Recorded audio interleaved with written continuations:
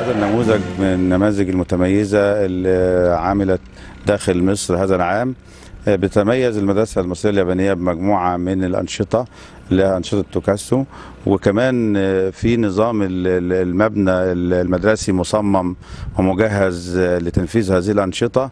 والقاعات آه، مساحات آه، آه، مميزة واسعة وأولادنا بيمارسوا فيها الأنشطة بطريقة تفاعلية وده اللي ميز المدرسة اليابانية عن المدارس الأخرى. المدرسة الحقيقة من بداية افتتاحها والإقبال على المدرسة طبعا إحنا فتحنا بعد افتتاح المدارس العادية فبالتالي أولياء الأمور آه، نقلوا لأولادهم من المدارس العادية نظرا لإيمانهم بأهمية تطبيق التعليم الياباني عندنا في مصر.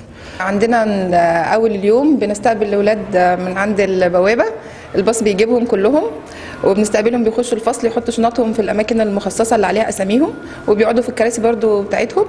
وبعدين بنبدأ أول حاجة بالرياضة اليومية بنشوف قائمة الرائد مين اللي كان الرائد امبارح والرائد بتاع النهارده يبتدي يلبس الشاره بتاعته ويعمل اجتماع الصباح مع مع أصحابه ويقول لهم هياخدوا إيه النهارده في اليوم هيستفادوا إزاي باليوم بتاعنا. بعد كده بنخش على الاستذكار الهادئ بنسمعهم حدوتة بيقعدوا هادين كده عشان يقدروا يستقبلوا اليوم الدراسي بتاعهم وبيكونوا آه، مخهم نشط ويقدروا يستقبلوا المعلومات.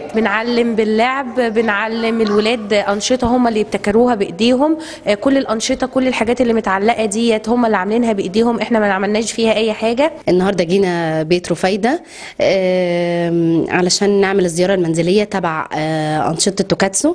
عشان طبعا لازم نطمن إن ال- ال- الانشطه توكاتسو بتطبق في البيت ولا لأ. ولازم يبقى في لينك وتواصل بيننا وبين ولي الأمر.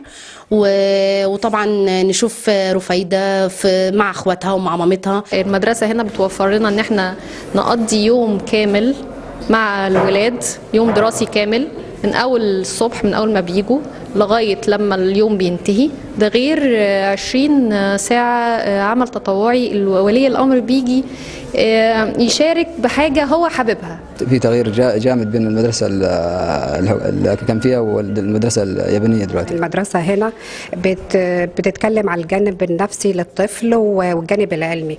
الجانب النف- النفسي إن هي بتأهل الطالب سلوكيا للأفضل.